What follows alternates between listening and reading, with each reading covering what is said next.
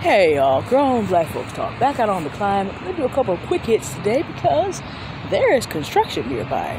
So we may or may not be able to do any length of video, but we'll find out. I wanted to talk a little bit about meeting Derrick Jackson, Captain Derrick Jackson.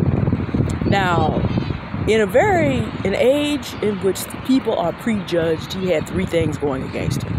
And then he manifested a fourth and a fifth that are very common in American society uh, prejudged, all of which would have caused us to miss enjoying the time spent with a very earnest, the most, I would say he ranks with Captain England. But the difference between him and Captain England, who came before him, is that he grew up in the community. His first beat job was in the community, and now he has gone full circle and become a captain. So he has knowledge, but not the kind of knowledge that is arrogant, like I grew up here and I know what you need. No, the kind of knowledge of knowing that how you live in community is how you respect and listen. But let me back up. His name is Derrick Jackson. He's black, he's a man. He's also getting a little older, which hits the ageism, and he doesn't know how to do any of the church things to be exciting. A lot of people, I watched the youth department, the children and the youth, showing that they were bored with him uh, over the course of part of his presentation. And it would be easy to fall into that gap if you have become acclimatized to needing to have emotional excitement. Okay, here we go. Got a little construction back there. If you're used to emotional excitement and that's why you interact with people and that's what you want in everybody who deals with you, yeah. He's to bore you a little bit. He really was. But if he was prejudged on any of these things, we would have missed interacting with a caring police officer, a captain. Which means that in our highly highly gentrified community, there's much less likelihood that that black people are going to be seen as just there to be removed.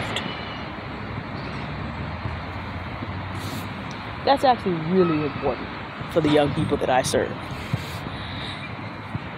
Now, of course, I didn't get to ask him questions about his life. Do we know how he treats black women? No, not really. But here's something that you can always tell about anyone. These children, some of them were raised, some of them are the children, various backgrounds. Some of their fathers are uh, redeemed ex felons.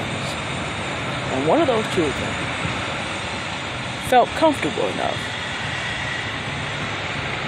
to ask him, as a police captain, do you really eat a bunch of coffee and donuts? He smiled and he said, I guess you know a bunch of cop jokes, huh? And everybody started laughing. He said, Look, the main thing is not a problem with you asking that because it's actually all true. Everybody broke out laughing, every single child. Uh, what I can judge about him is that children felt safe around him. It's not easy for black youth to connect with even black police officers. But he did manage in his quiet, humble presentation to convince us that we're not going to be seen as targets on sight, all the way down to the youngest children. He made a connection earnestly and honestly in that way. The other thing about it is, he said, one of the greatest honors of his life is that his son chose to be a police officer after him. So imagine having more men, police officers, gentlemen named Jackson, and black men who are modeling themselves after their quiet, humble, caring fathers.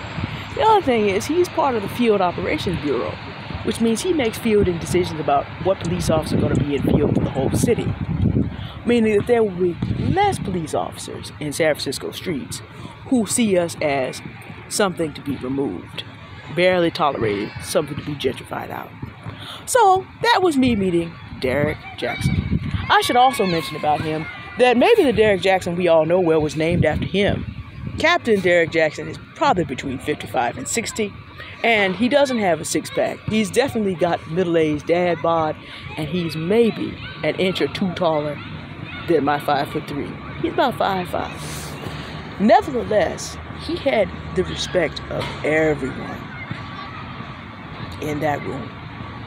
the warmth and earnestness of his spirit. Now, why am I also mentioning this?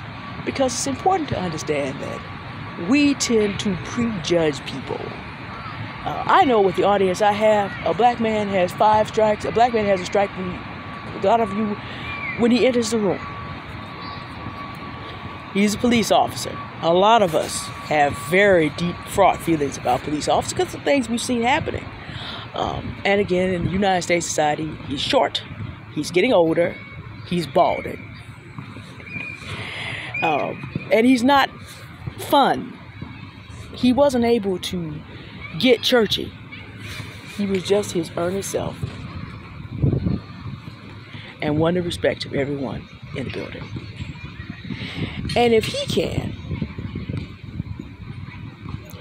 see, understanding that people do not have to fit social media and media in general's idea of manhood and womanhood and personhood, that is, non not a European, in order to receive that respect and connection, and he doesn't have to do that, is important for us to know because we learn from what we see. And uh, in some way, we're all still very like children. We still learn from what we see. And if a man that had all those strikes against him, including having the name, the other Derrick Jaxn named after, maybe Derrick Jackson, the other one, Da'Naia's husband, had to put the X in his name because he didn't want to live up to being the older captain, man of responsibility, earnest goodness. I reported back on this because I we did that thought exercise and I wanted you to know what that experience was like. Uh, not prejudging allowed me to really enjoy the experience. And that's the thought I wanted you get as you move through the world and learn how we all rise to freedom and not playing shadow games. I have a little bit more to say about that a little later. All right, so I have to say now. I probably have one more video. Thank you for listening.